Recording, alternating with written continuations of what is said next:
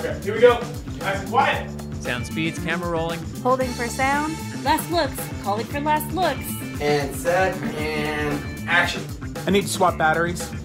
You know, making movies is hard. Making movies is hard. Welcome to Making Movies is Hard, the podcast about the struggle of being an independent filmmaker. I am Liz Manashil. And I'm Alrik Bursell. This week we welcome producer Bradley Gallo on the show, and he's going to talk about how he got started in filmmaking, how he produced his first feature, and how he's been able to create a sustainable career uh, throughout that time. I've probably watched, you know, maybe 50 to 100 micro budget films a year just because that's the first uh, director reel I have. He's pretty cool. I like Bradley. Yeah, it was a really uh, fun conversation because it's like this person who just makes feature films for a living, and that's what they do. It's really exciting. He like the day or two days before we talked to him, he announced that he got the rights to the uh, Green Hornet franchise. Yes. So his company is going to make the next Green Hornet big budget movie. They're like the remake from the Seth Rogen one that they did a, f- a few years ago. So that's really exciting.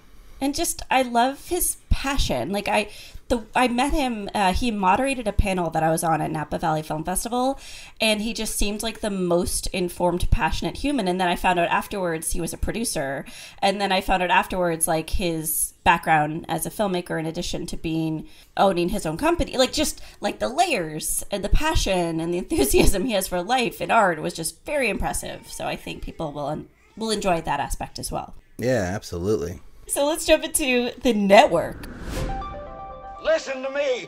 Television is not the truth. We'll tell you anything you want to hear. We lie like hell. The New York Times has this great piece about two productions that have gone back to filming and have been filming for days during the pandemic, which I thought was really interesting. They're both not in America, of course. Um, one's in Australia and the other's in um, what Iceland? Yeah, Iceland. And um, you know, it was really interesting. They both have different methods, and uh, one I think is rep- like you could replicate basically if you had enough money, uh, and the other one is seems very like like not like something you could do because like it's all about quarantining the film crew together, and it's like it's like the tyler perry model yeah, and it's like you they they got lucky because they were already like there making the movie, so they were able to quarantine them when it started, and you know all these like little circumstances that um, allowed them to do it. But yeah, I don't know. The other one, the armband system, seems really interesting, and checking temperatures and having these medics and uh, you know nurses on set to like monitor people and you know really being diligent about wiping down surfaces and social distancing from each other. this week was like a crazy week for the, for news related to covid filming like i don't know if you've been following but uh, there's also an article posted by the Hollywood Reporter about SAG's new policy, which seems very loose.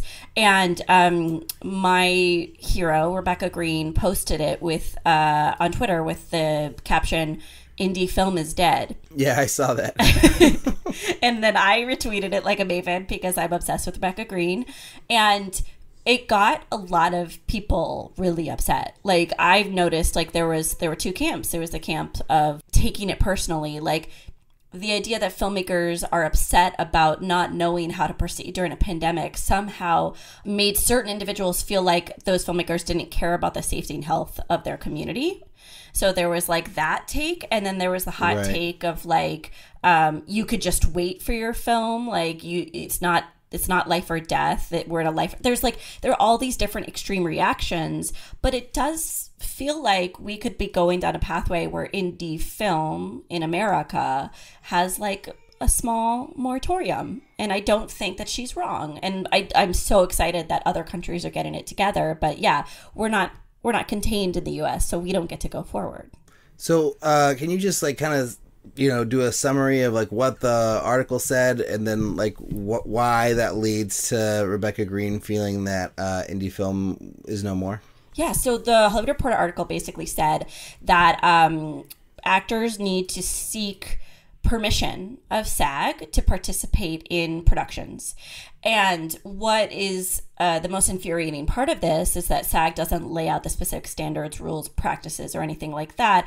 It just says those actors need permission. What's frustrating to me and possibly Rebecca Green, though I don't want to speak for her, is the idea that as lower budget productions want to get going and want to contribute to arts and economy, I feel like we're going to hit a lot of discrimination towards SAG. If there's no rule book, if there's no specific standard, I think it's just going to be discrimination against our budget level. And uh, I think that's crazy.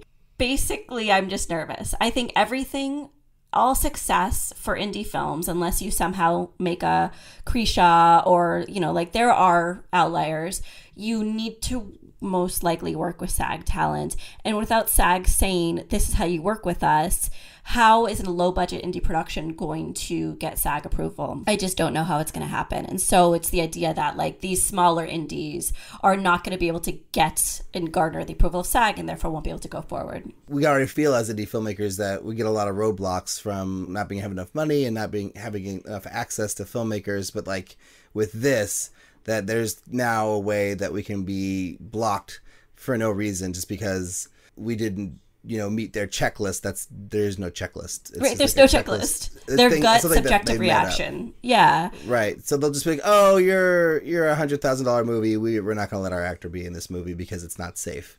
Where if you were like a million dollar movie they might be like oh no problem. I think that's the fear and i had um you know we're we have an actor we're in negotiations with uh, from before the pandemic, and she contacted me because we're Instagram friends. I posted the, I posted the article on Instagram too, and she's like, "Well, what does this mean for lady parts?" And I was like, "You know what? I don't know. We're gonna abide by SAG standards, SAG-AFTRA standards, no matter what. So we're just nervous, and we're gonna do whatever they want us to do, but we don't know what they want us to do." And she said, "Call up SAG." Ask them. So we did. We called up SAG and we said, "Hey, SAG, what can we do? What are you know what are the specific rules that you want us to follow? How can we greenlight our production in the age of COVID nineteen? And they're like, "We don't know. We don't have any information for you. We'll let you know soon." Eh, oh, okay. Wow. So they just were like, "We don't have any info. We'll get back to you." yeah. After they made this big statement about what they're going to do, and then they're like, "Oh, we don't really know. We'll get back to you." Well, the statement itself is vague, but I think it's just like yet again as indie filmmakers i don't want to no none of us want to put people at risk. None of us want to go forward with an unsafe production and i think that should be clear but maybe it's not. We're not i don't wouldn't say we're you know indie filmmakers are frustrated because we just want to make our dangerous movies and you know put our passion projects into life. It's like we're frustrated because we don't know how to abide by standards and continue to like hire people and cast people and provide opportunities and jobs. Like we're just waiting. And i think that's going to build up a lot of frustration and tension. And we'll continue to do so. Yeah.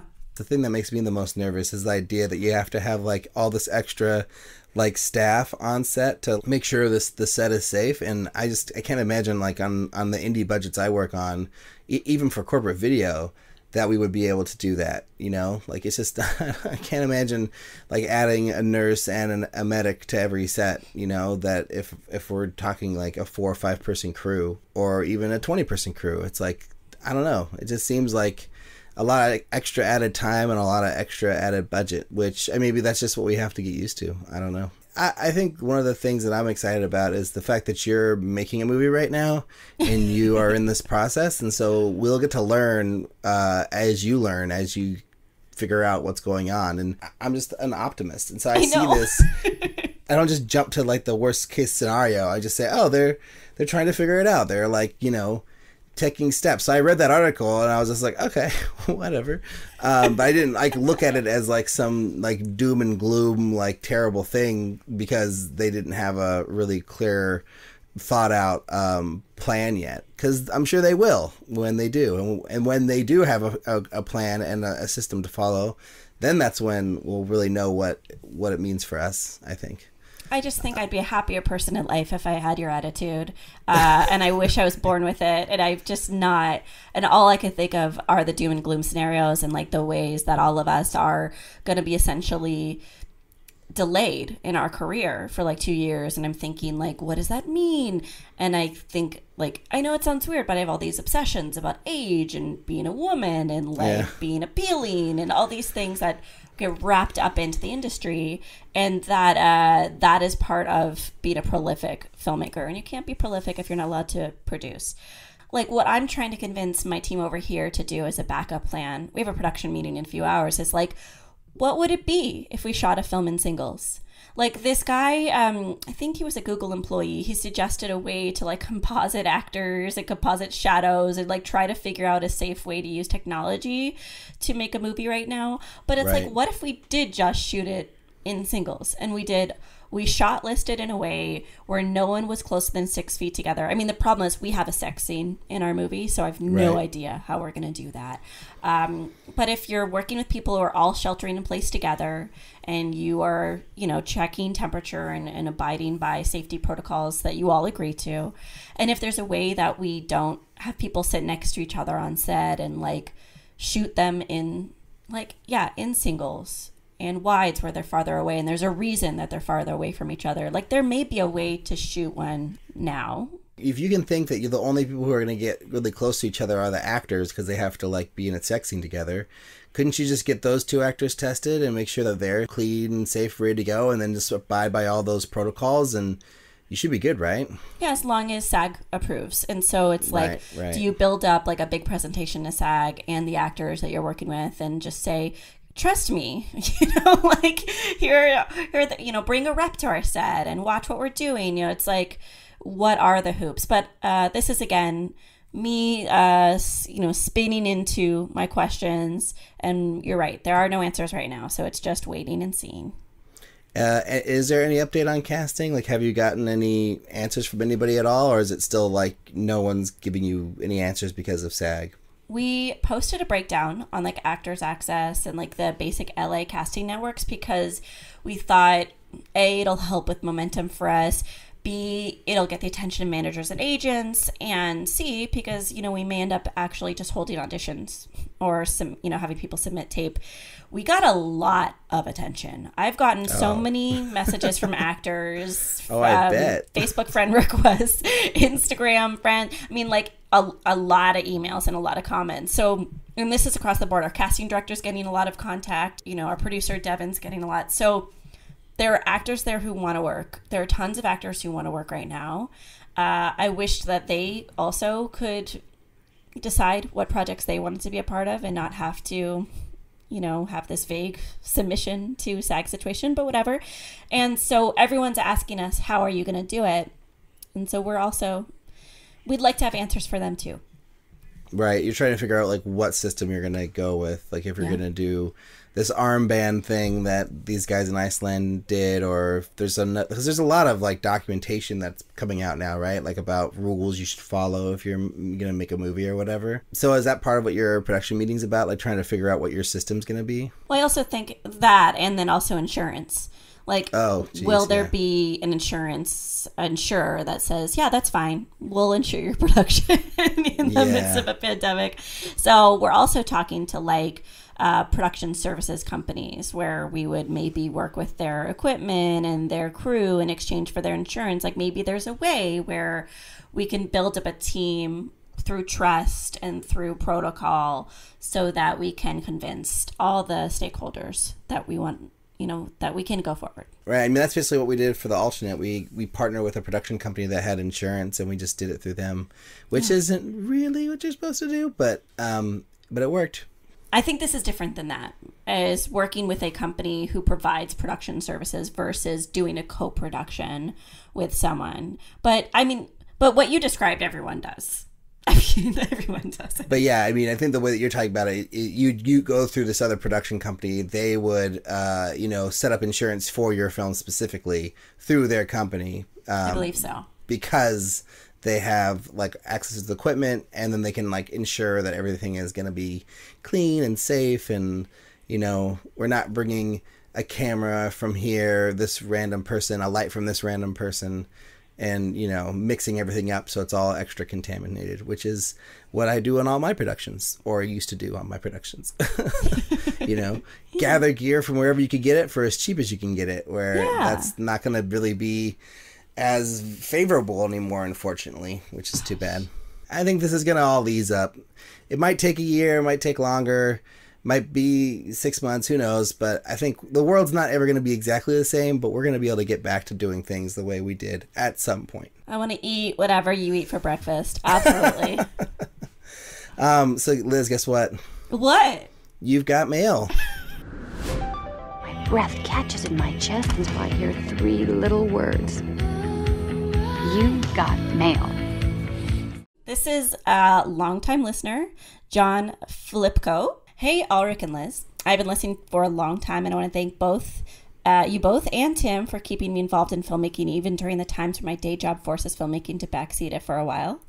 I want to ask you your take on the benefits of making comedy sketches as it relates to growing your filmmaking muscles and potentially gaining recognition and advancing your career. Uh, the extent of my filmmaking is working on my own and a couple other YouTube channels that predominantly make comedy sketches. Game off! Ours is a step above novice stuff. For example, we do actual use actual equipment, reds, Blackmagic, sound and lights, red cameras for those who don't know the, the short term. Hiring actors uh, when we can. However, uh, after making a lot of these and realizing it does not really advance my career, I am thinking it is more just something to do for fun. We have had some videos that gets tens of thousands of views and some that get only hundreds. I've made like 30 to 40, but people but beyond it being fun and great experience with acting, directing, technical, and editing, I feel it may be time to move on and shoot a short. One benefit of being viral or becoming some kind of influencer would be that you could potentially gain a massive social media following. I haven't, but I know that industry folk definitely like to see and bring people onto their projects who have a lot of followers for free advertising. Thanks so much for what you do. You've kept me motivated for years now. John Filipko, YouTube, uh, Video, and Four Tall Guys at John Filipko. I live in LA and my day job is property management. Well, thanks for the email, John. That's awesome. And we'll try to answer your question as best as we can. Liz, what are your thoughts on all this? I immediately am thinking, why are you making another short? Like, you spend all this time making these awesome shorts and putting them out into the world. Why aren't you seeing those as shorts? And why not do a longer form project? He already said that they were very professionally done. And he's definitely got a lot of experience working and uh, working his his craft muscles, so to speak. So I just keep thinking, why is he short changing himself? Get it? And why doesn't he do something a little bit bigger, a little bit grander? But that's always my argument for people who ask me if they should make a short. If these shorts are purely just sketches and they don't really have a lot of like filmmaking like you know things to them like like a full story or lots of different locations, cinematic camera moves and cinematic angles and cinematic storytelling. If they're devoid of those things and it's really just like SNL type sketches that aren't the cinematic t- uh, variety, um, then I can sort of see like why he would want to do a narrative short, you know, and sort of uh, you know, get that muscle going because it is very different than like shooting a sketch with like improv or comedians, right? Like that's I don't know. I haven't really done a ton of that, but I just know that it's a it's a sort of a different beast. So I guess it kind of depends on like what his goals are. Like, does he want to be a comedy movie director? Um, or comedy filmmaker because if he does, then the sketches are perfect. And then, yes, just launch into your bigger, longer form project from this. But if you want to be like, you know, a artsy, dramatic, like filmmaker or a horror filmmaker or some other brand of filmmaking that you haven't done anything of, then maybe making a short uh, of that variety or that genre would make sense. But I'm kind of more with you, Liz. Like if you've had, t- if you've made 40, what do you say, 30 to 40 videos? Yeah. Um, yeah, I don't know. Maybe it's time to make a feature. But I, I don't know. I think, t- you know, the question I always ask people is, is like, what is your goal? Like, what is the thing that you want to accomplish? Like, do you want to make a feature film? Is that the goal? Because if that's the goal, you could probably just do that now. you don't really need to wait for Right. anybody else. But if your goal is to like, I don't know, become like a TV writer or something, or get in a writer's room. I don't know if, if that's more of the goal. Then I don't know. that maybe that isn't the right thing to do. But I just think it depends on like what you're trying to get after. You have a lot of a lot more of a measured response than I do. I just feel like so many people are like they use the short, and this is not anyone I'm you know. I don't think you did this, Alrik. I don't think a lot of people that our friends might have done this, but I do know a lot of people who use shorts to avoid going into scarier things. Right. And so I always take that with me when I answer that question.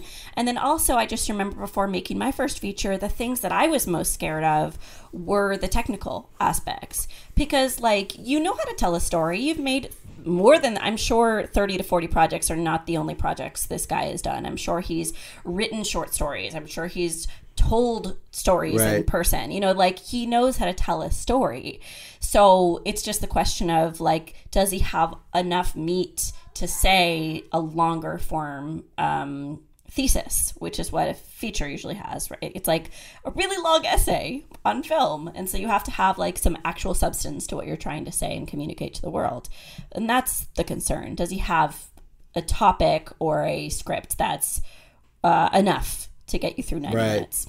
I think that's the the you know the big thing, you know, and and and I think that's sort of what stops a lot of people from making their longer form content is like they don't have the script they believe in, you know, and they don't find that thing that like they're obsessed over and then they they really want to dedicate 3 to 4 years or more to.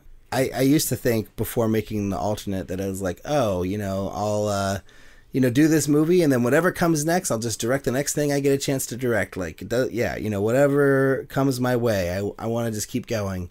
And then after doing it and how hard it was to make that movie, I really like kind of double back on the idea that like, yes, no, like it, it really needs to be an important movie that means something to me in order to to go and do that because it's just not worth it. It's just too hard. It's too much work. It's too stressful. It's too it's just too much to do if you don't believe in it. So like you really got to find the thing that you believe in. So it's like that's the next question. Like do you have a story or a script that you believe in enough to like commit yourself to, you know?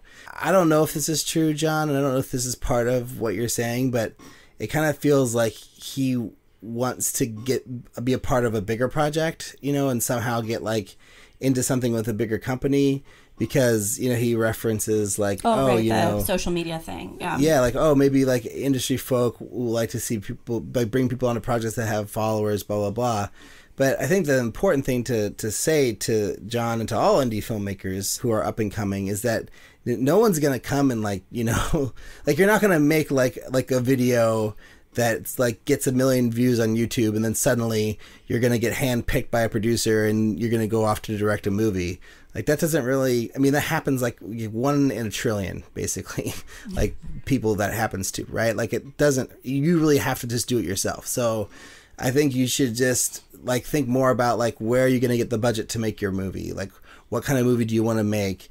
And really get into like the idea of being a producer of your own content, like doing what you're doing with the with the short stuff, but like on a longer, bigger scale because no one's going to come and do it for you. Like no one's just going to say like, "Oh, you've made all these short films or these sketches or or even if you make this like one amazing short film, like the chances that you're going to be the uh, Jim Cummings or the Whiplash, the Whiplashes of the world, like Sure. it's just such a such a small chance that that'll happen to you and with your film. So you really should just be thinking about like what do you need to do to get the feature made and is a short important for that because and i would argue probably not the pandemic has uh, emphasized this point for me uh, with like a capital a capital T and an exclamation point. But think about time and what your time is worth.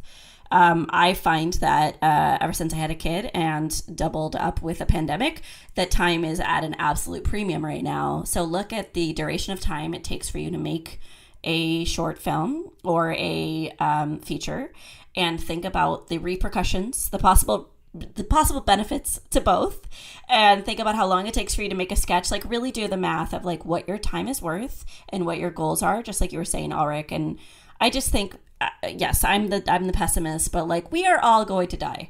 Uh if Lynn Shelton like this whole Lynn Shelton thing has spun me out by the way. Oh, no, um yeah. but like you think about your projects think about what you want to do and do what you love and do what you love now. And it sounds like if you're even flirting with the idea of doing a short and that's what's pulling you then we say make that fucking short john do it it's going to be amazing but don't sell yourself short if you really want to do something else please do it and let us know how it goes yeah we would love to hear how, how this goes and if this advice was helpful yeah so sorry to get so dark but like really this lynn shelton thing is like what yeah Um, but we don't Life have to is go into precious. it. I know it's crazy.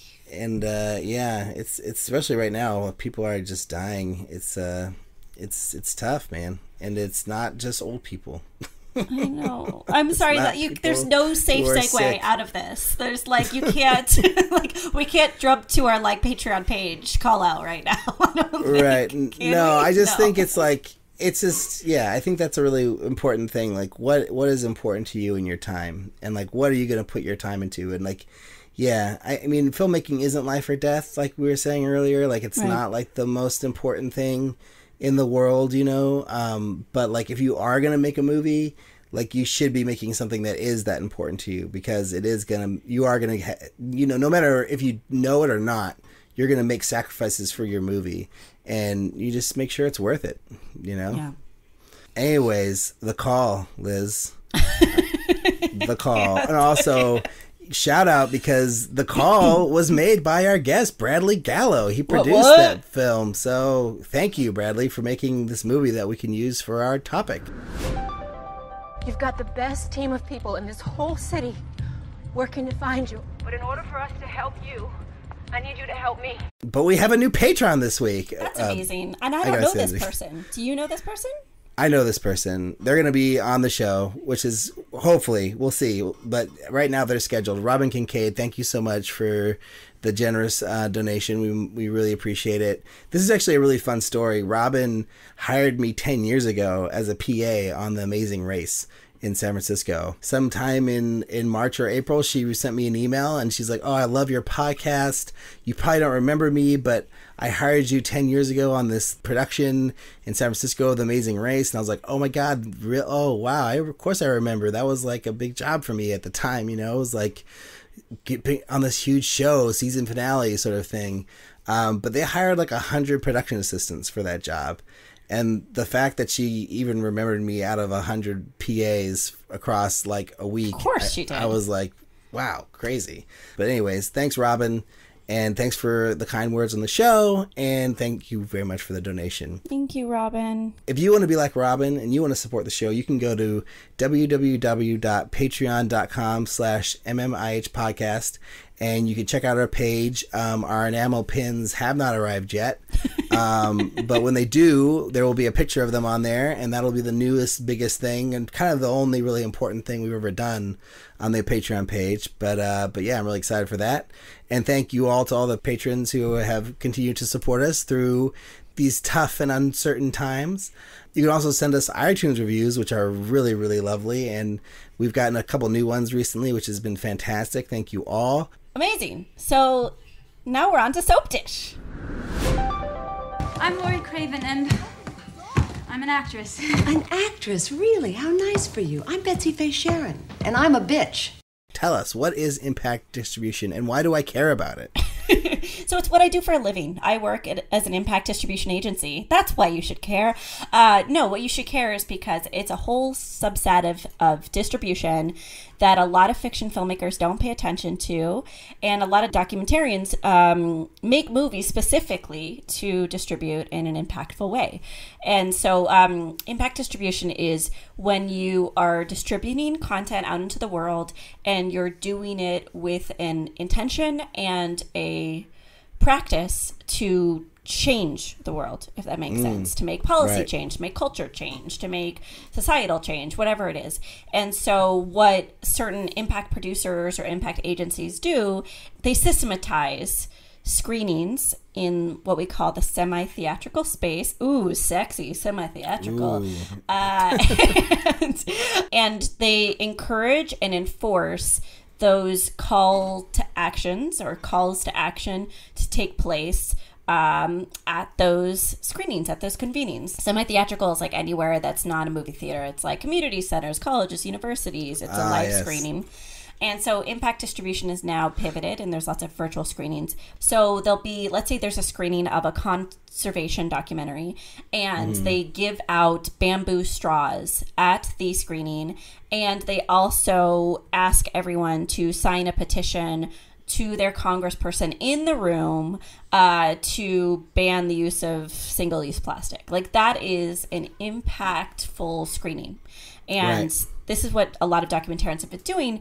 But fiction filmmakers can work in this world where if they have a, you know, like a film with a target audience or a specific uh, intention to impact their audience, they could do the same thing. So, um, for my film about uh, a person who discovers uh, an alternate dimension and then abuses that discovery, Sure. uh, is there something that I could do that's impactful for that, or is it just like you know because I'm making a sci-fi genre film, like this doesn't apply to me? Sometimes the context of the film can be a part of the impact distribution. So I worked for David Zeiger and he made this movie, Sweet Old World. He talks about it on the podcast and he made it in an effort to kind of, um, in part, uh, use art to deal with uh, the death of his son.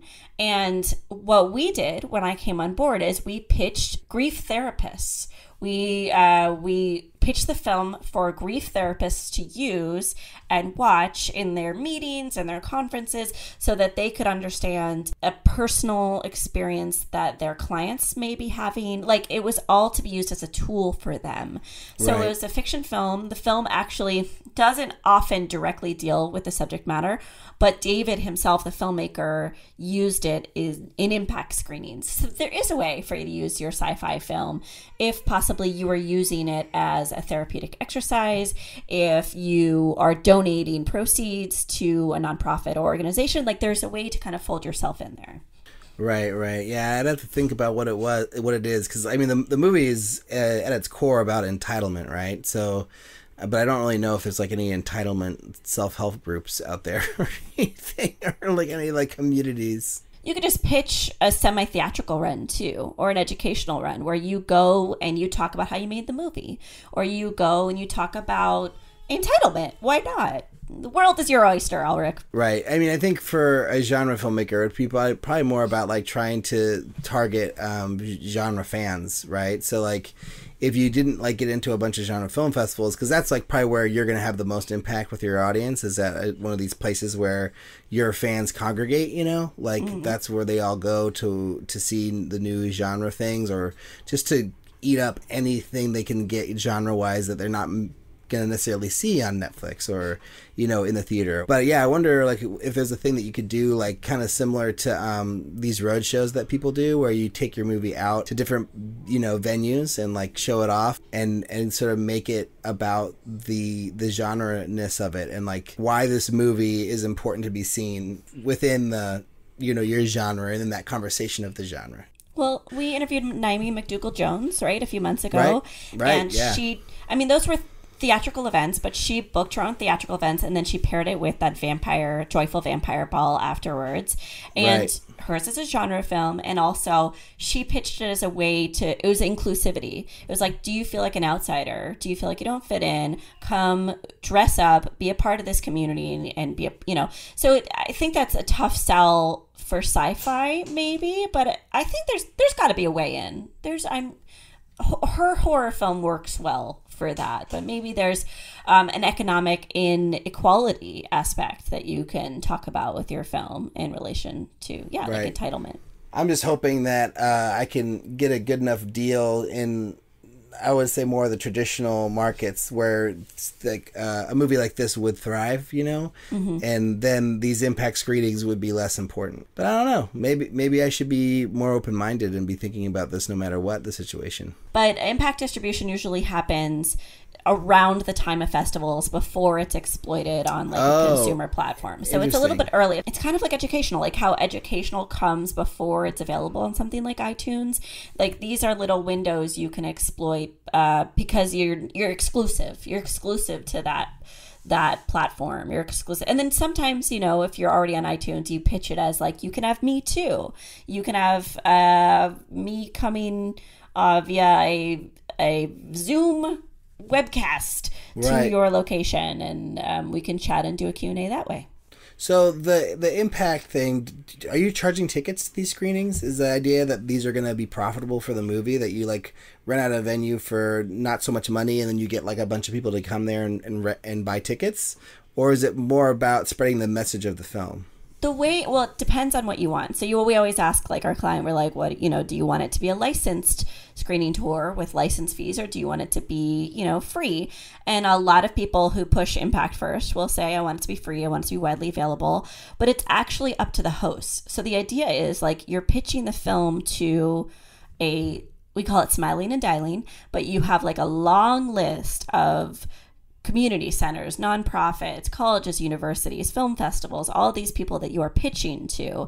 And then they get to decide how they're going to use the film at their venue. So it's not really about making money, it's more about just getting the movie out there and getting it seen by people. Well, but if you choose a, uh, a paid, you know, a licensed screening tour, then that host needs to pay you, you know, some anywhere from like fifty to like four hundred dollars uh, for the opportunity to screen your film. And then they could charge tickets if they want to, and they could use it a fundraiser as they want to. It's all like negotiated. Right, right, right. But it's not like meant to be a big moneymaker necessarily. It is. It is for documentary oh. filmmakers. Like if you have um, you know, if you have content that's not available anywhere else, this is a way that filmmakers are making money. But if you're saying it's a four hundred dollar fee per screening, like how many screenings do you have to have before it actually like makes a big difference on your budget? Well, it depends on what your time is worth. Because if you're just, you know, there's no hard costs other than like shipping out the DVD, but you could charge them, you could make them pay for the shipping costs. But it's like what how much is your time worth of like outreach, emails, convert, you know, locking down that screening, figuring out the logistics, getting them the materials. Like that's that's the offset. That's like what's um you're evaluating when you're deciding whether you do this or not. But think about it like theatrical people are not necessarily profiting from their theatrical run. And this is a way where you get paid instead of doing like a rev share, you get paid a license fee. So how many like let's say like one of your, your clients, like how many of these impact screenings are they doing uh, for their films? Is it like 10, 5, 100? No. Um, I can tell you that I worked on The Cave, which was nominated for an Academy Award. It was a free license. It was a free screening tour, like it was not licensed. And we did 131 screenings over just a few months. Um, oh, wow. I could tell you that we worked on a film. Uh, I don't even know if I'm allowed to say, it, but we worked on a very well known documentary, and it did I think over 300 screenings in just a few months. And they weren't collecting fees for this. This was just to get it out there. Or... Those were free, but there have been instances of paid screening tours that have hit hundreds of screenings as well. Okay, because that that is like you know some real money there. If you yeah, you know exactly. if you have over a hundred, but it, it does sound like it's more of a of a tool that's better fitted for like a documentary, though. Well, just because of the target audience, like you could pair yourself with a nonprofit who has the same goals as your film has. Where, you know, right. if you make a fiction film about sexual health, that's, you know, that's an opportunity for you. But if you make like an indie dramedy, which is, you know, like a relationship piece, I think it'll be tough to find a partner there. It just has to be the right thing. Like um, our previous guest, uh, Neasa Hardiman's film, Sea Fever, sea Fever, which is, it's like a, you know, a sci fi thriller uh, but it's also like got a message about exploration and how to treat like an unknown species. And then also it talks about like you know science versus people's own desires basically. Like what's the better like the, for the greater good of humanity um, or the greater good of these 10 people you know? Like what's more mm. important? And so i don't know. I could d- definitely see like some impact screenings being developed around that movie. But liz what do we have for our players of the week what about truth? What about the reality? What about the way the old ending tested in Canoga Park? I found two of my close friends and I asked them, What do you bring to set emotionally and physically? And I wanted to specifically intro the first one because she didn't slate, and this is my best friend, and she didn't slate. so we're starting off with Ali Scher, writer director, and then we'll cap it off with my friend Jill, who works in our department. Well, I always bring my back pillow.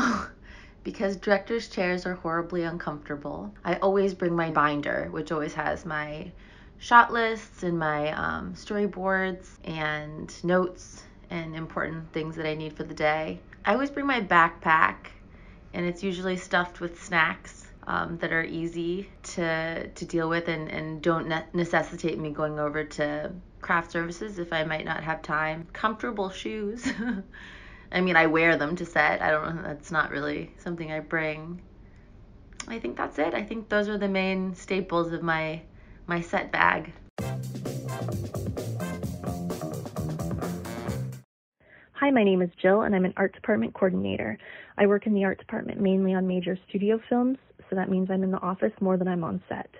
I'm required to provide all my own equipment, so my hardware, my software, including my computer, my monitors, my hard drives, my design software, including my Adobe Creative Cloud subscription, my drafting programs, and any software I might need for the office management portion of the job, including Microsoft Office. I also find it's helpful to have a stash of supplies with me because oftentimes we'll open an office and not know if our film's going to get greenlit or how long we'll be there, and we won't have a cash flow yet. So anything I can provide to help get us started really makes things easier, and that includes our specialty art items like our paper, our inks, our art supplies, and the mundane items like paper clips, binders, pens, post-its, anything that someone might need immediately makes their lives easier, which by proxy makes my life easier. So I carry five to six boxes with me from show to show, just so we have it on hand if we need it. Um, personally, I like to have a few things with me, like little lights or items that people have given me from other shows, just little desk comforts to sort of brighten my space and make it more creative. Um, like I said, I'm in the office a lot, so anything that I can do in that respect, like have little graphics out or research or photos that really inspire my space to be more creative, really helps. Awesome. Well, thanks, Liz, and thanks to uh, our two players of the week. We really appreciate it. We appreciate all you people who have given the time to, you know, lend your voice to the podcast. I, I really think it's been a fun addition to the show to hear from people. I really like it. It's kind of like one of my favorite parts of the show, but I mean, that makes sense because I don't want to listen to myself. Um, anyways, without further ado, let's get to Bradley.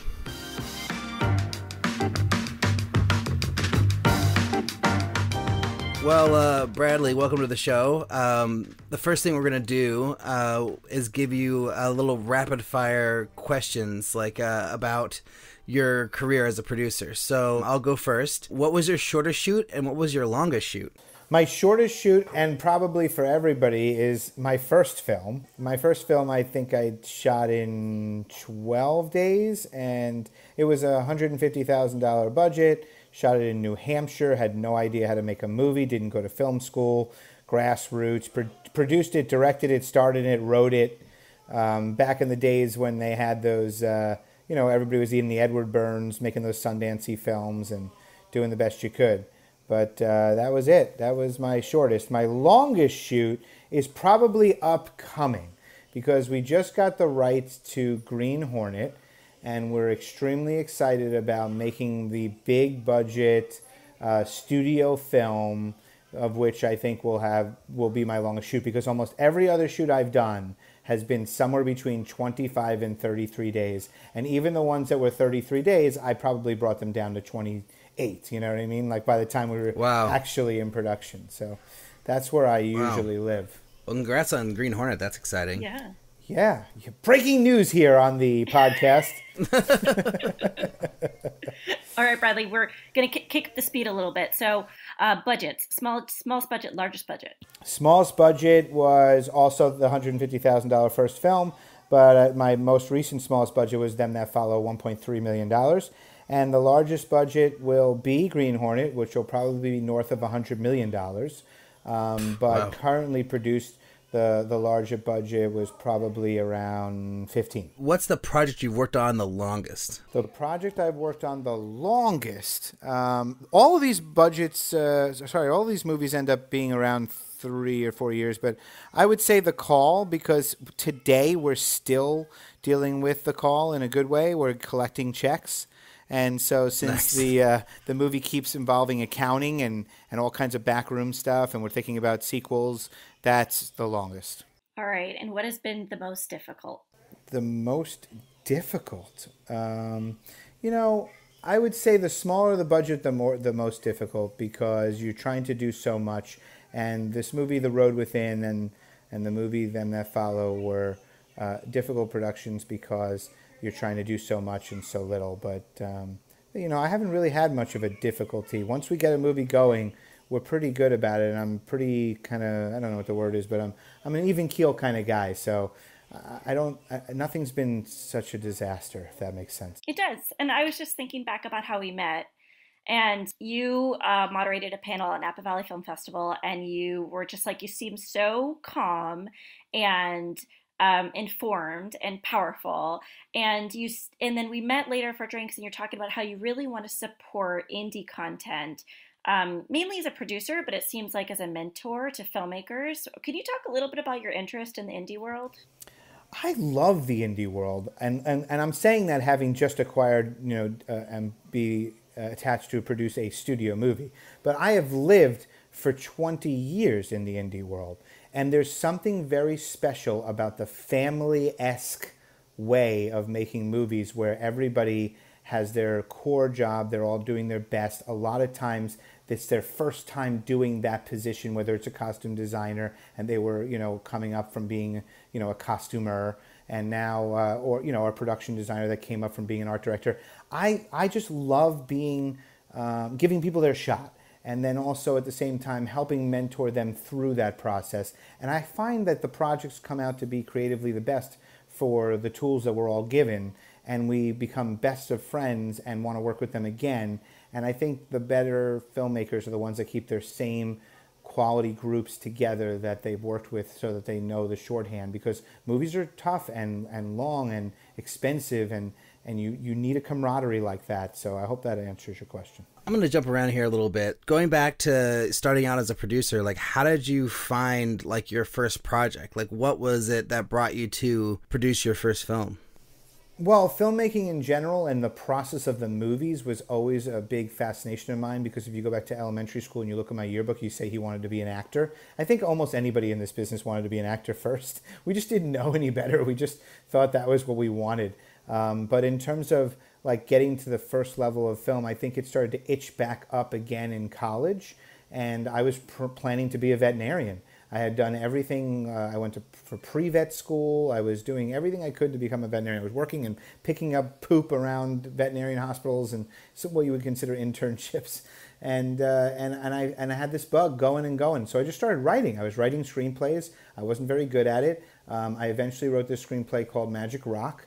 And uh, I said, How am I going to make this happen? And I had a lot of energy when you're in your 20s. And I just went out and raised the money from doctors and lawyers and family members and put this kind of film together. And, and I knew this summer camp up in, I was going to write about a summer camp, and I knew that this camp existed in New Hampshire, and I knew the owners, and I can work a deal. And, you know, you can house the crew, feed the crew, and shoot the entire movie in this one location. Uh, that was the kind of thinking then, and it, it, really sparked off my love of everything by doing every single piece. I wrote it, I directed, I produced it, I acted in it, and then I realized slowly that I was kind of best as a producer, where you touch a little bit of everything, organize it. You're kind of the head camp counselor, and you're and you're leading everybody towards this amazing creative goal that a director's vision or a writer's vision needs to take place. Wait, was the veterinary love was that because you just hadn't found film yet, or is that like still this unfulfilled? It's one of the best questions I've ever been asked, and it leads right into the film business, but I didn't even know it.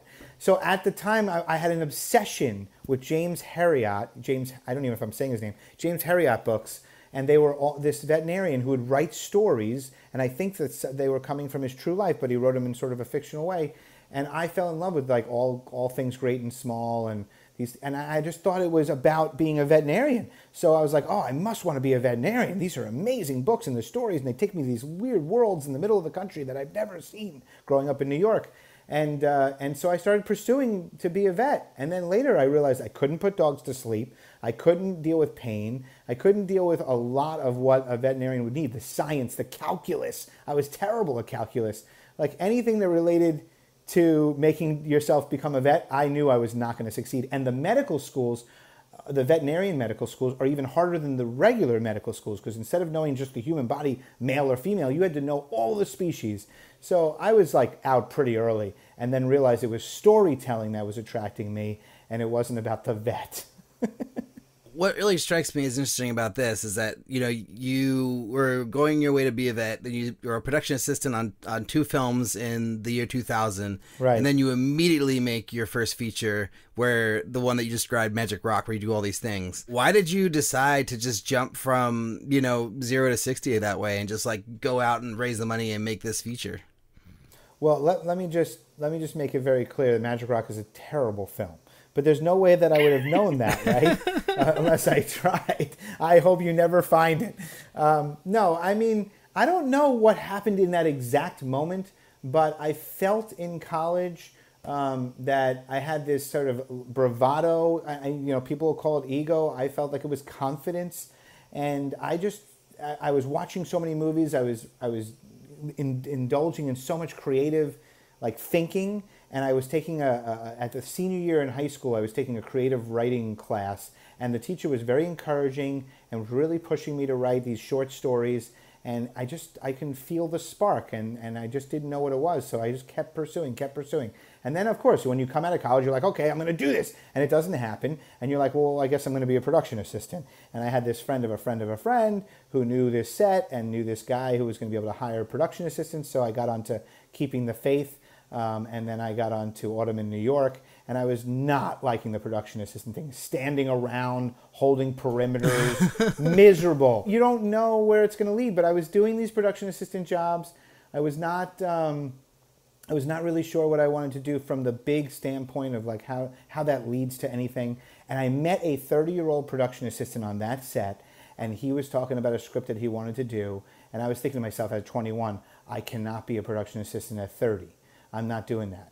So that's where it kind of sparked in like, how do I make this happen? And that was when the whole Sundance Edward Burns things happened. Well, you just write a script and you just go and raise money and you just go to the festival and all of a sudden you become famous. And like you get that kind of drive and you're reading every book, every single how-to filmmaker book. I read it. And I was reading how to write screenplays. Like there's one called The Screenwriter's Bible by John Trottier. I never forget it. That was the book I bought and just started writing from. They had something called the Hollywood Creative Directory back then. It was a thick book of like 200 production companies and distribution companies with all their phone numbers and everything you could possibly do. And I would call every single one of them, take trips to LA, force myself into rooms, and had no idea what I was doing. And of course, nobody's going to do Magic Rock. So, you know, I had to, uh, I had to go back to the well of just doctors, lawyers, and family members. And you know, I, you have a significant, it was like I was on drugs and I've never done a drug in my life. There was like a significant amount of energy and power and passion that comes. And if you don't have that young, forget it because you lose it over time and you have to kind of like ignite it as you're older. And, uh, and I would say that's uh, not an easy thing when you've never done a drug in your life. I have a similar question. I mean, the idea of zero to 60, you you produce you produce individual projects but now you've built a foundation you've built a company how can you talk a little about that process of aggregating enough projects where you can actually be liquid and have your own company yeah your own company is, is one of the toughest parts of the business if you're going to run your own production company um, and what that entails for us is that we have a very lean and mean company so you have an accountant we have a development exec a production executive and then there's me and michael uh, we also now later, as we expanded, expanded into television, so we have a head of television, right? But what we do is scripts come in. They come from friends. They come from uh, you know agencies. They come from filmmaker relationships, actor relationships. I get you know I get a script from an actor that I'm working on a movie with all the time, that kind of stuff. And they, they get filtered through the development process where our development execs have their teams of interns and or um, assistants, and they will read them. Then it goes elevated to the head of development, and then he or she reads, and then there's coverage made, and then it becomes like, okay, these are the two scripts this weekend you have to read. And then I am going home and reading those two scripts and then calling up my team and saying why I like it or why I don't like it and what's the problem. And usually it entails a bunch of other things other than the script itself being great. What's the budget? What are the far, I mean, we can talk for hours about this stuff. Who's the cast? Who's the director? What's the, what's the direction? Where are they going to shoot it? How, you know, there's so much to think about, and does that work for our company? And can we can we spend the time on a movie that's made for a million dollars? We're going to have no no producer fee when I got to cover overhead in the company. Does that make sense? So there's this bit process that we go through till it gets elevated, and I can answer questions about that process. Are you personally reading two scripts every weekend uh, in addition to your team? I would say I'm reading about two scripts a week. Um, wow. I wouldn't say a weekend. Okay. And and that's because it's getting elevated up there. And there are times where I read 30 pages in and I'm like, this isn't going to work for me. There are times where the staff says it doesn't work, don't even bother, even though it's a friend of mine, right? Because I don't have right. time. Right, I really right. don't. And then there are times where it gets to me and I love it, and then I get into the details and I'm like, oh no no no that pass. Or I, I love it and I love it, and then I keep going, and now I'm losing it. The moment I love it, I love it. It turns out that there's like three other companies loving it too, and I end up losing it, and that's a whole nother process, losing it in negotiations. And I can tell you a great story about Shirley one day uh, this project that's coming up by Josephine Decker that I lost in a negotiation. Like, let's say you read one of these scripts, you love it, love it, love it. Talk to us about the process from that moment. Like, what do you do? What happens next? So I love it, love it, love it, and the team has already loved it. And so now I'm going, okay, what's the budget? Send me the budget. Send me the foreign sales estimates, because usually at that point they've brought on a foreign sales company and there's estimates, and I can see how much that is and what that is up against the budget. Where are we looking to shoot it? What's the what's okay? It's going to be in Oklahoma. Is there 25% tax credit there? You know, I start looking at that. I'm trying to understand from a production how I can pull this off. What's the cast attached? When are they available? Oh, they're available in April, and then they got to go back to Avatar. Oh, that's not going to work for us. We're never going to get ready by that time. You know, and that changes the whole game. So I call and I, pay, you know, that goes to another level of passing or not. Hey, if you guys are going to move this from April to June, I can think about coming in. Then I think about the financier side. Do we need equity? Am I raising that equity? Is the equity already there? Am I coming on as a creative producer only? You know, these are all the thoughts that are coming through my head in the moment. And then when the project elevates and we said, okay, it has everything we want, I would call up whoever sent it and start discussing the negotiations of us coming on as a production company and what that deal entails. And then from there, I start already thinking about uh, when this movie's made and it goes into post, what's the, the end game? Is it to go to a festival and be sold there? Or is it to get sold now to a Netflix, Amazon, Hulu and get them on board and then they pay you double the budget and then that's your back end and there's nothing else? Like these are the kinds of things that are happening. So let's say the, the movie's $2 million and you get to the point where you're going to like reach out to the writer of the script or whoever owns it and start that negotiation. Like, do you know where the money's coming from for this movie at that point? Or do you still have to find the money once you have the negotiation with the, the owner of the script? Sometimes I have to find the money. Sometimes I have some of the money. Sometimes I want to see where the process goes before I make the decision of whether we're putting the money in. Like Amasia has its own bevy of financiers, and in the case of uh, them that follow, uh, we kind of knew that we were going to be able to do that within house, right, financially. But there have been times where there's a project that came to me recently, and I'm like, I love this creatively, but it'll never work for our financiers. And so we're going to come on as a creative producer and help bring the financing in from all of our sources and all of our connections. But it's not Amasia's financing you know, you talk about mentorship, but it sounds like a lot of the projects that come to you are already really set from prestige and from experience and from connections.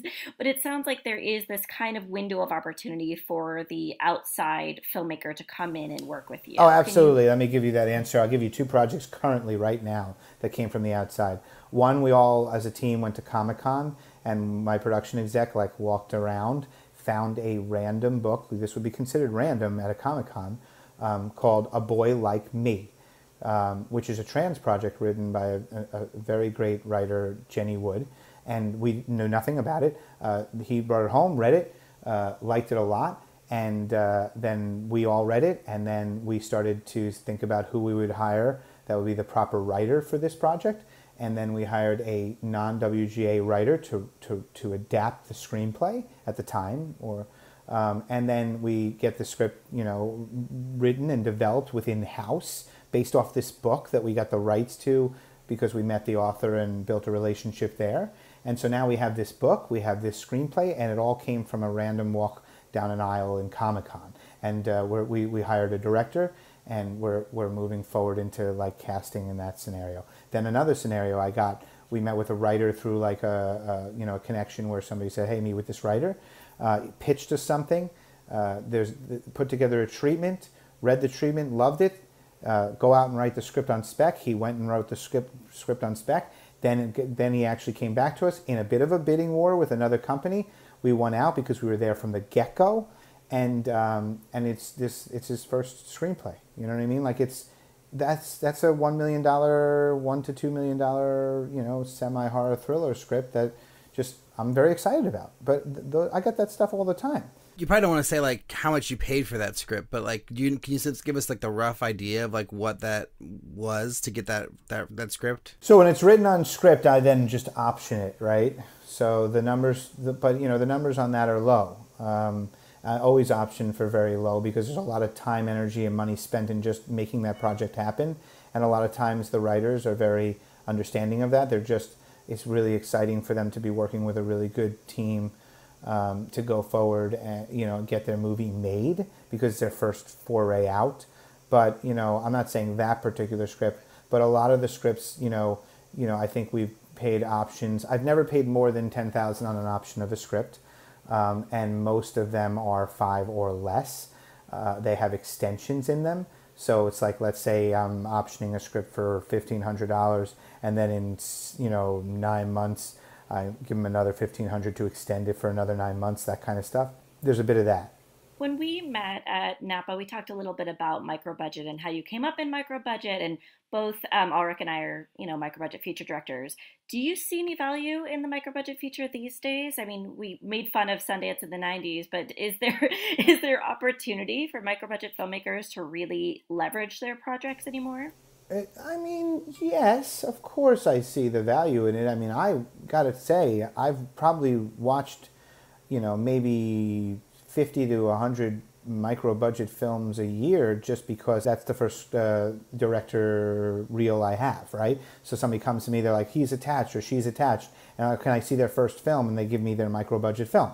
So I watch tons of those, and it leads to me hiring that director um, because I now love their screenplay that they sent me or want to make this movie with them. And I have a record of like, I think I think a lot of my films, maybe three or four of my films, are first-time directors. So I'm not I'm, I'm not against that. So that's where there's benefit. I don't think you make a micro budget film and it becomes the next big Apple sensation or the next big Amazon Netflix thing. That's a little bit harder. But it can be a pitch to something greater. It could be a pitch to a series. It just people do so much better when they watch something visually than, than if you just have a script. So if you have a script in a short film, you have a script in a micro budget film, um, or your micro budget film is giving me an idea for a documentary. There's lots of value in just doing and moving forward and giving me opportunities. But like if you're saying micro budget film going and getting distributed and making its money back, I, I don't I deal with that less now, and you probably know more than me on this, Liz. And I felt like you did at the at the, the festival, but um, but I think that that micro budget stuff is is living on the internet in in kind of a significant way in in these different outlets for distribution on the internet that you can still make money off of. Um, and but um, we watch everything. I mean, look, look, look like Quibi. Yes, it's like they're spending billions to get like high end content, but over time, Quibi's going to just keep needing content, and uh, and they're going to have to adjust their model along the way. And they may even have Quibi offshoots and Quibi micro budgets long form. You know, like you don't know. And so I never think there's a negative to it in these like a hundred or so micro budgets you're watching every year to like you know evaluate directors or whatever like what's a thing in a micro budget movie that like really really impresses you and is like okay like yeah like i, I want to give this director a chance yeah okay I, I, and i wouldn't say this is a micro budget but it was a $500000 budget and um, maybe these days that's micro but I've seen movies like the one that I saw. I'm trying to remember. I'm trying not to mess this up, but it's Jennifer Reeder's first movie, and I ah, love. We interviewed just, her. We had her on the show love, recently. okay, I love it. Knives and Skin, right? Love, love, love, oh, love yeah. that film. And what I saw in that film was an incredible eye, a dramatic eye that was just not what I've seen a lot, right? The way the director of photography was, the way the shots were, the way the, the script was, the just the uniqueness, the I'm not saying I could make that film or ever green light that film, but I can say that's a creative director that I want to take and work with and find a way to get more commercial. Like when we worked with Brad Anderson on the call, he had done all these like very intense artistic movies like The Machinist, and you're like, well, that's not going to work for a widescreen release and bring in some real good commercial, um, you know, income that we're going to need, right? Um, so if you take a director like Brad Anderson, you put him with a script like The Call, you're going to have gold, and that's exactly what happened. And we, I feel the same way about Jennifer Reeder. If we find the right script that she's willing to put her spin on, that has a little bit more of a commercial aspect, she's going to, she's going to break big. And, uh, and, and so right now we are having multiple discussions with her on a couple of projects because I just see that as I, I, I think she's amazing. So, and then on the other end, like, what's a thing in a micro budget feature that will make you turn the movie off and be like, "Oh, this director's not ready yet. He they, they need some more time to get to get their chops up."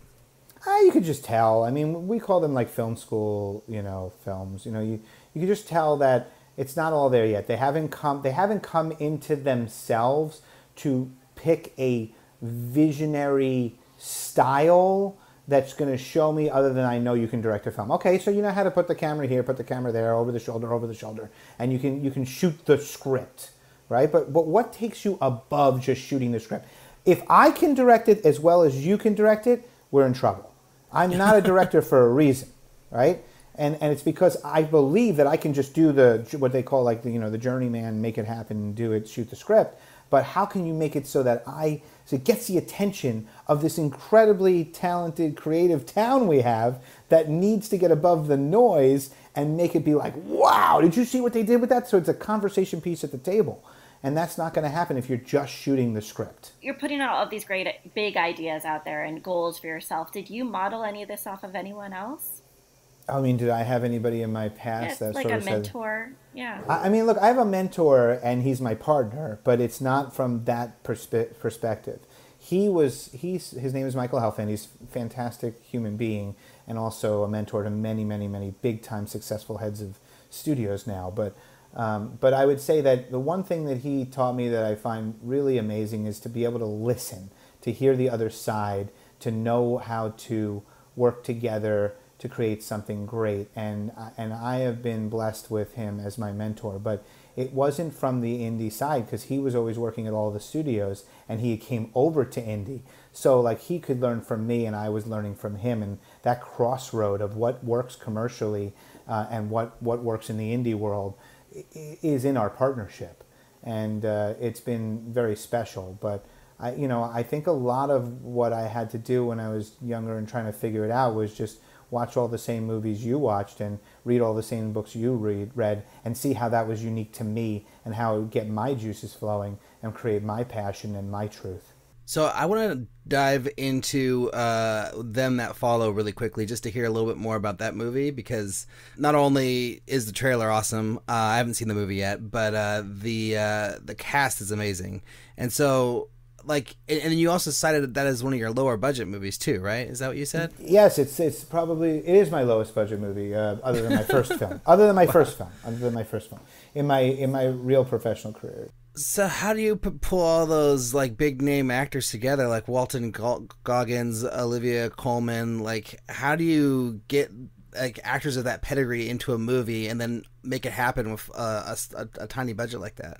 Yeah, that's an amazing story, and I do have to say that one. It's also one of the big uh, kind of like nods to you can't do everything on your own, and so I had a producing partner on that who brought that to me, and she uh, was amazing. Her name is Danielle Robinson. She works for G-Base, and uh, that's Gerard Butler's company.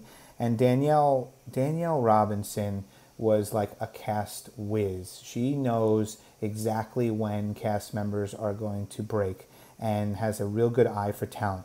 Also, Orly Sitowitz, my casting director, uh, I've used on almost every one of my films now, is also an eye for talent. And so you rely on the people who are great at that to sort of give you the information. And then instinctually, it is my job to say, okay, let's push the button. I believe all of this information. I want these people. So Danielle, you know, was way ahead on how talented Olivia Colman was out of the UK, way before The Crown, way before she even came close to the Oscar on The Favorite. Uh, Olivia came on to this project really early on. Uh, they had seen a movie called Tyrannosaurus and loved her, and the directors were all about her. And so that's that was like the lucky moment for us in this movie. But um, the rest of the talent was just coming because that script was so good. The script was written by Brittany Poulton and Dan Savage. They were both first-time filmmakers coming out of USC. Uh, they were in the producers program, actually, the Peter Stark program, and uh, they had a couple of shorts. And I wasn't making the decision based on their shorts. I them in the room uh, uh, when they were pitching me this, and that script that they wrote, plus Danielle Robinson, um, and just sort of the, the aura of this could be a family film. When I say family, I mean a family oriented crew and cast coming together to make this movie uh, great. And you know, if you notice, Alice Englert, who's who's sort of like almost like introducing Alice Englert, she's the star of the film, and she's she crushes that role uh, and I think will become a very big star because of it. But I mean, Walton Goggins is the preacher, pr- pretty much should have won, or at least been nominated for an Oscar. I mean, he did a great job with that. Olivia Colman, amazing. Lewis Pullman, Bill Pullman's son, awesome, dude. My, one of my, he's like one of my closest. Like we talk all the time now. I'm like friends with him because we, he's just such a, such a great soul and was he just did a great job for us and he supported this whole film. So it's like that. Wow. So basically, a great script, uh, like partnered with like a really great producing partner who kind of helped, like you guys really bring this thing together. Basically. Yeah, I, it's it, it's hard for you when you're saying you name, name all those names, and about you know three years ago or two years ago, you, you're not thinking this is going to work, but you have to you have to believe in your partners a bit, and you you know you watch the the movies and the television shows that all of these actors are in, and you see the talent, you see how they can play the role, and you see their passion. Kaitlyn Kaitlyn Dever's in the movie. I mean, Kaitlyn Dever now is a superstar. You know, it's it, it's just a lot of that stuff.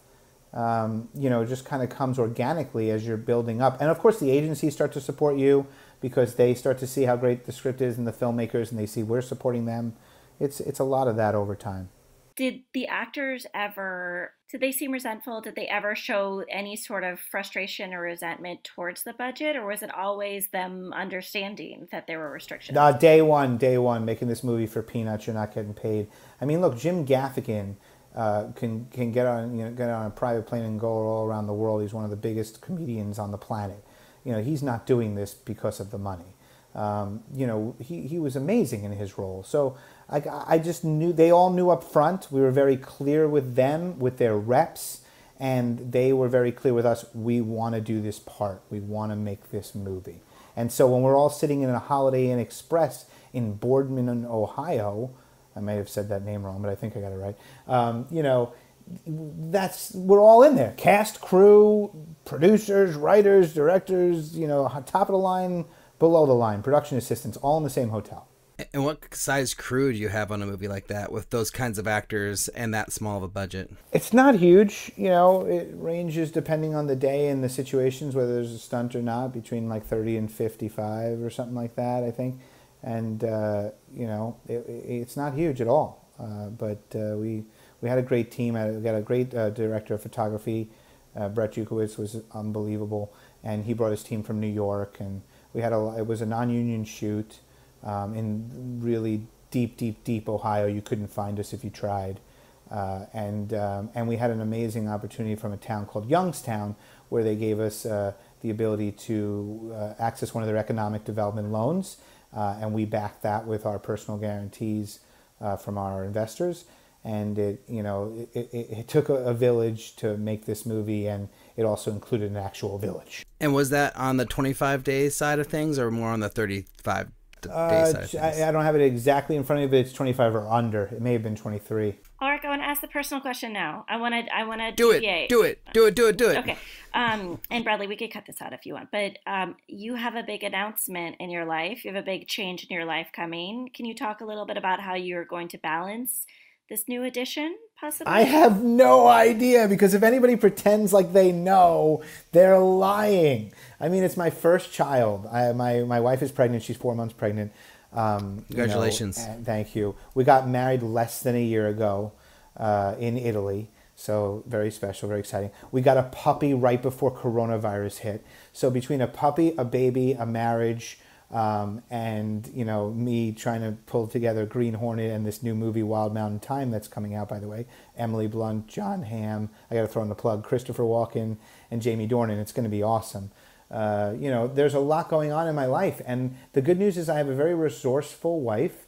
Uh, I'm hopeful that uh, we will find a balance together on taking care and me making sure my hours are right. But it is not easy. It won't be easy, and I think we'll have some stressful moments. But it's part of the filmmaker's life. If you know, you have to figure this out. There are some great things about being a filmmaker where you can be like, "Oh, I'm not working for two months," and there are some great, uh, you know, and then that's also a stress because you're not working for two months. But in the case of me, who owns a company, it's kind of like a regular job. So I go into work every single day, and then of course when we're going to make the films, I'm away and in that place. I believe we're gonna, she's gonna come, and so is the the baby, to those locations until school age, and that's where the challenge will become very difficult. Well, that begets a does it beget? Is that the right verb? Um, Yes. That inspires another question, which is like right now, what is your balance? Like, are you able to turn off, like, or are you always on receiving emails, commenting, um, supporting projects? I I'm always on, and it's probably not good and not healthy, and I've aged myself in that process. I'm just being totally honest with you. You know, there is no magical at six o'clock. I shut off my phone. I don't think we would have gotten our Green Hornet deal done if I did that. So there are things that I don't do great. But what I do do is on the weekends. Um, my partner's better than me at this, and it may be because he does this that I'm able to do this. But on Friday nights to Saturday nights total, my partner shuts off his whole world because um, he's you know he's religious, he's Jewish, and he follows Shabbat, and so I sort of get that quiet time as well because if he's not working, I'm not working, and we're sort of off, if that makes sense. And then Sundays, they're very much Italian. I'm an Italian, like the Italian way of just like doing nothing. So I find Sunday to be a, a mix between reading scripts and doing nothing. Um, no, when I say do nothing, I mean like working out and trying to keep your, you know, going for a walk and watching some shows and being with your wife. Um, so I try on the weekends. The weeks are forget it, forget it. They're just just not. Do you ever turn off your phone uh, on the weekends at all? Is that something that you try to do, or is that just too much? I think it's pretty much away from me. It's not off, but it's not the ringer's not on, and the uh, I don't check it constantly, and I- I'm a little bit away from it. I need to get a lot better at it. I really do, and coronavirus has really helped that um, Right. because you know you're working at home now and spending more time with my family, and then at the same time I'm also able to sort of just do this with you guys, and then take off for an hour and go get something to eat and relax. It's not like I'm in the office going boom, boom, boom, boom, boom, boom. But what is the most challenging aspect of all this for you? Is, is it the deal making stuff? Is it being on set and managing a crew or helping to manage a crew? Like, what's the most challenging aspect of filmmaking uh, from from your perspective? If you're a filmmaker and or a producer, you hate being in the office. You hate uh, not being on set making projects. So the most difficult thing I know, I say it almost daily, is that I'm not in production. It's it, that's the kind of addiction you need in this business, and maybe passion is a better word than addiction. But I feel very much me when I'm in production, and I hate not being in production. So the balance of like when you say the deal making and the pre-production, like all the things you got to do to get the project to go, I'm doing it, but it's not my favorite part of the process because I just want to be making the movie. And that's a good insight into a personality of a filmmaker. I, I think the, the, I mean, when I meet with directors, it's all about like, here's what we're doing. We got this plan, we got this, we got this, we got this. I, uh, uh, we can go in February, we can go now. You know, like they want to get into production. And, they Right. don't, and, and, and my balance sometimes is like, I'm loving that energy because I want to do that too. But there's a lot of times where I have to say to them, hey, I get it. We can't just go with this random actor. You know, it's like, "Wha- what do you mean? We're just going to go? I thought we had uh, XXX attached. And then those people that you had attached w- were the reason we were able to finance the film. I'm sorry Right. she dro- she dropped out, but like we're not just going to, no, no, but he's great. She's great. Let's go. And it's like, yeah, there's a bit of that like managing artists. I always say that I'm the bridge between art and commerce because you have to have that bridge to sustain it. Even if you were just making a painting, somebody has to commission the painting, right? So there's this bridge between the money side of it and the business side of it and the artist side of it. So I deal with that energy. I, I, I manage that energy. Okay, well, let's take commerce out of it for just one second. Sure. What would be the project you would want to put out into the world, regardless of how it's received, regardless of how much money comes in? What's like that film you want to make? Well, there's two or three uh, mindsets of that. I can't give you a particular one, but what I can say is something that has a massive social impact would be awesome. You know, where I feel like I'm affecting change. It never. Uh, I never lost it when Robin Williams had said one point where he walked down the street and the and the movie that most people came up to him and said that changed my life was Dead Poet Society because of Carpe Diem and whatever it was about that film it mattered. And it, it was the he, he did mrs doubtfire he did all these nobody came up they always said that. I want people to come up to me and say that movie affected change for me or the world. And so until i've made that movie i'm not going to stop that's what matters to me from from that perspective and then the other perspective is a, like a jennifer Reeder an extremely offbeat, completely creative driven film that has nothing to do with making money, but is all about the creative energy that can also maybe uh, affect some change would be awesome as well. And, and, and I, I don't get to do either of them, which is probably why I want to do them. And, and why don't you get to do those kinds of movies? Do you think it's just because it's for not the reason They don't the, make for the- money. yeah, for the reasons right. that she's saying. Like I did, I kind of did it with them that follow. It didn't. Re- it wasn't a commercial movie at all. It wasn't meant to be like a huge money maker. My goal there was to make sure we got our investors their money back. Uh, we had, we did make a little bit of money on it, so that was good. Uh, and everybody in the in the in the uh, is getting some money on the back end, so that's amazing, and that doesn't happen all the time. I get scripts a lot of times, and and, and I feel like they're pushing the boundaries in ways I'd love to go, but I don't have the time to spend on it because I know the budget's going to be low. We're not going to make any money, and I just it isn't strong enough in this moment for me to take that risk. What size budget does a film have to be in order for it to be like a lucrative proposition for you and your company? Oh, you mean from like okay, that's a good question. There's two ways to think of that.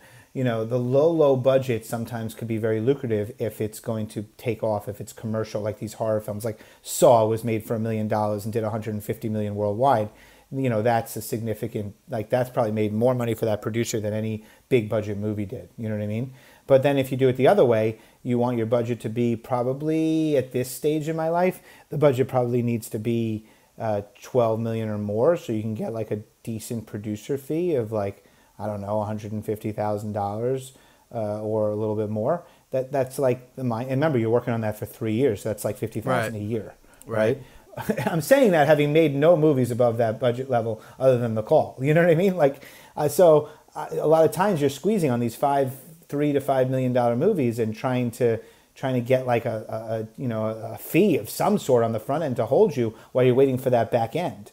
I mean, us producers, uh, you know, the old school mindset was that we made tons of money. But that's not true anymore. That's been gone for a while. That's been gone most of my career. What advice would you have to like young directors, or not even young, but just like new directors who are trying to get their films made? Like they have their first script or their second script, and they're trying to raise the money and get the film made. Like, what advice do you have to to that person? Oh my God. I mean, if it was a one word answer, it's perseverance. I couldn't believe some some of these projects 12 years before they get made. Um, so there's that. But I think the biggest piece of advice is, is is if you're hearing the same thing from everywhere you go, you know, you might want to get off it. I don't know how you know get off it is or or listen to it because a lot of times they, they feel very strongly about their thing and then they're hearing every time not, not necessarily like pass pass pass pass but it's like change this scene at the end it's not working and you hear it 15 times from 15 well established people in the industry you probably need to change it. You know what i mean? It's it, it, Right. it, it's really a problem. I've been working on a movie where uh, the director is very strong in his vision and he's and he's he's amazing at it. Um, and he's he's he's let the producers uh, look at the film and you know make their make their points. And he's uh, he loved what we had to say and he took that in and and and he's crafting from there. And I think that is the sign of a great director when you can when you can take you know make sure your vision is the vision but when you can take some of the little pieces around and listen and and, and incorporate that and and be collaborative uh, you're you're in a good place. Because I'll tell you, I have been to Q and A's at festivals and listened to directors speak, and just from the Q and A, I will never work with that director. And I haven't I haven't read a script, I haven't read a thing, I haven't. I just saw the Q and A, and I'm out. And let, let, you have to tell us like what would be a thing that a director would say in a Q&A that would make you feel like I, I can I can tell that the attitude and the mindset of that director is not collaborative. You can tell if you're good. Right, right. And and it's just the way that questions are answered, the way stories are told, the way their their energy comes off, the way they feel, the way they talk down to people, the way the chip shoulder might be. I'm Ah. like that chip that chip is in a Q&A at Sundance? Oh man, can you imagine on a set? You, it's you're, you you have no threat to you. You're at Sundance. You're at Toronto. You're doing a Q and A, and everybody loves your film. And the chip's there? No, no. That's funny. wow. And not to make excuses for them, but I mean, it's because directors have been uh, weirdly worshipped, or some directors have been worshipped and then like estranged and thought of as these like mystical figures, and then they get away with murder. And so, like, that bad behavior gets reinforced regularly in the culture. So, shame on them. Yeah, no, I hear you. And and look, there are great people who there sorry, there are there are tough directors who are amazing at Q&As and then you realize they're, you know, later they're in they could be really really tough. Right. But they're great and they can pl- and they they can sort of weed through um, how to do that. You know, you have to look at somebody and say, I want to be with you for three years. You are going to be eating, sleeping, drinking, sitting next to, like sharing blankets. That's how I think, right? Like that's what I'm doing for Right. three years.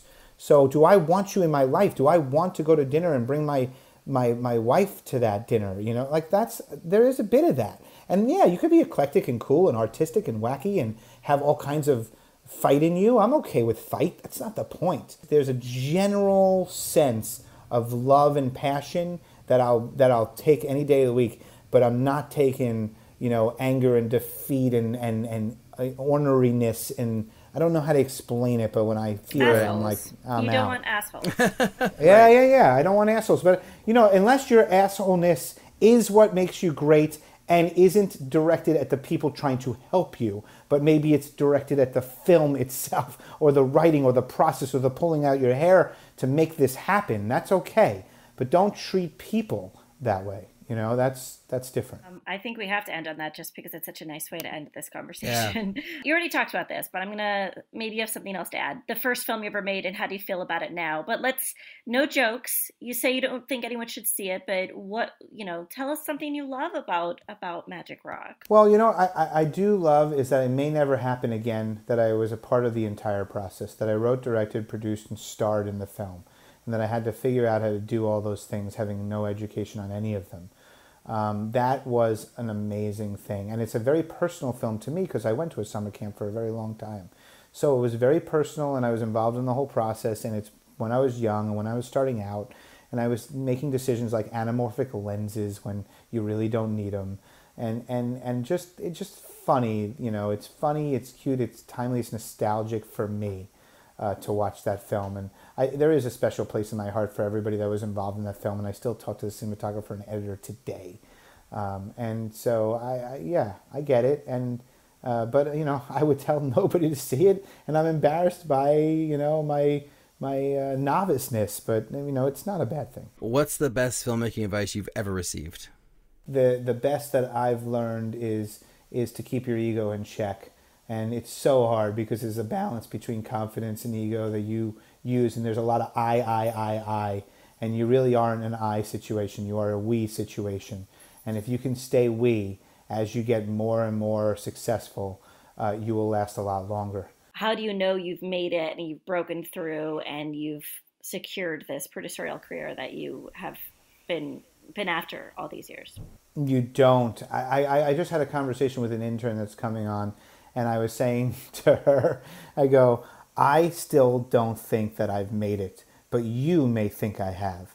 And Neil Moritz may be like, yeah, good luck, right? Like, it's like I feel like I'm always striving to make it and haven't really made it. I don't know what that is, and I think that that drive is that if I thought I made it or that I that I am a producer and I am making things happen, um, I think I'd be like, yeah, you know, let's go on some vacation. You know what I mean? Like there's there's something about this business that makes you feel like you got to keep going, uh, and I don't I don't ever feel like I've gotten that career. But I, but I hear what you're saying, and and there are times where I look back and like, oh wow, I made X amount of movies and I'm working for myself and I own my own company. There are those times, but a lot of the times that I feel like my career is good is when I'm standing on the set and we're making the film and everybody's smiling and everybody you know is very excited about this project and that they're brief moments as opposed to the whole career. If you could go back in time, what's one piece of advice you would give yourself? Wow, you know what I would do that's going to sound so ridiculous? I would have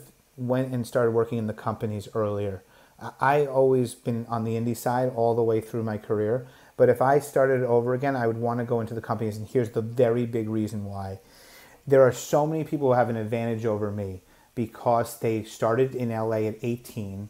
They worked within their those companies, like they worked for CAA and they worked for Universal and they worked for these cool little, you know, big production companies or legendaries or whatever it is, and they start to build a massive network of people young, you know, when they're 20s or whatever it is, and then those people start to go to other companies, and now they know all these people at all of these companies in their 40s that I had to build over the last 10 years, and I'm still not there and they have these long, long, long term relationships within all of the companies, and that makes this business work. It's all about the relationships. You've heard it a thousand times.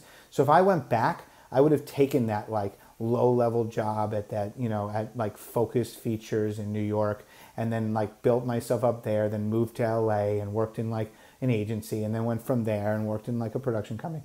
Like I just think that I needed the network earlier. I would have moved earlier. I would I lived in New York and I would have moved to LA earlier at least that, at least starting that, you know, sooner would have been better. But anyway, go ahead. No, I mean, our last question is just like the button, which is like, do you think making movies is hard? Making movies is extremely hard, and there are a lot of jobs that you can do that are easier that pay a ton more money. Um, but I think it is worth it when you've fully completed whatever that goal in filmmaking is for you. Um, you definitely get to look back and have that sort of poster on the wall and go, wow, I did that. I could technically walk away from the industry today and say that I was a producer of films and felt good about it. But I just I, I just know that it would be nagging me that I didn't keep going and keep accomplishing more stories that I wanted to tell and make a bigger difference, which was the reason I set into this in the first place, was to make a difference. And I haven't felt like I've done that yet. That's amazing, Bradley. Thanks so much, man. Thank you. Where should people go if they want to find out more about you? I have. I'm very, very excited about my social media channels. I have uh, Twitter, Facebook, Instagram, and they're all at Bradley Gallo. Um, so it's really easy. And then, of course, uh, the, I think I have a personal website. I think Amasia has a website. I'm sure I'm on IMDb. So you can find me in all kinds of ways. And I, I pretty much answer almost everyone if I can. Wow. Thanks again. Bradley, really cool. I really appreciate this. Thank you. Thank you. Thank you.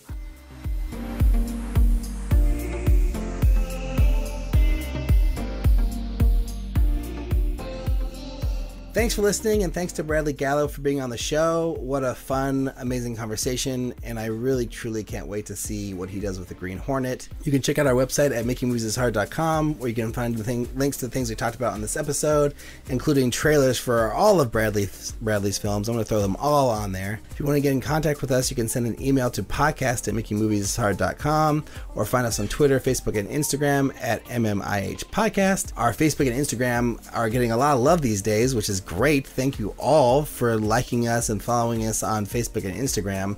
Um, this has nothing to do with Liz or I. Uh, it's our wonderful partners. Our producers. They're Thank amazing. you so much. You guys are rad. We love Oh, you. yeah. So, so great. Um, and if you want to follow me, I'm RB on Twitter and Instagram. Liz, where are you? Mainly on Twitter at Liz Manashil. And if you like the show, tell a friend, help us get the word out. You can always leave a review on iTunes or Stitcher or Google Play or wherever else we are. And finally, and not leastly at all, uh, thanks to our producers, Greg Holdsman and Joshua Sterling Bragg, editor Allison Stoney, and the whole Bloodstream Media team for making this episode happen and just for, you know, pumping us up, getting us out there, you know. Um, this is has been great. Like, we're we're, we're almost at uh, 2,000 likes on Facebook, I think, or like What? like Bloodstream, you're the best. uh, like I think 1,500, which to me is like close round to up 2,000. Five round, up 500. to, to 2000. Basically, I think by the time this episode comes out, we'll be at 2,000 because Wait, this you're like selling ourselves short. We'll be at five five million. five million. so I was gonna say like help us get to 3,000 because Okay, sure. you know we'll already be at 2,000 by now, obviously at the rate that we're growing. So help us get to three. Anyways, uh, thanks guys. Talk to you next week.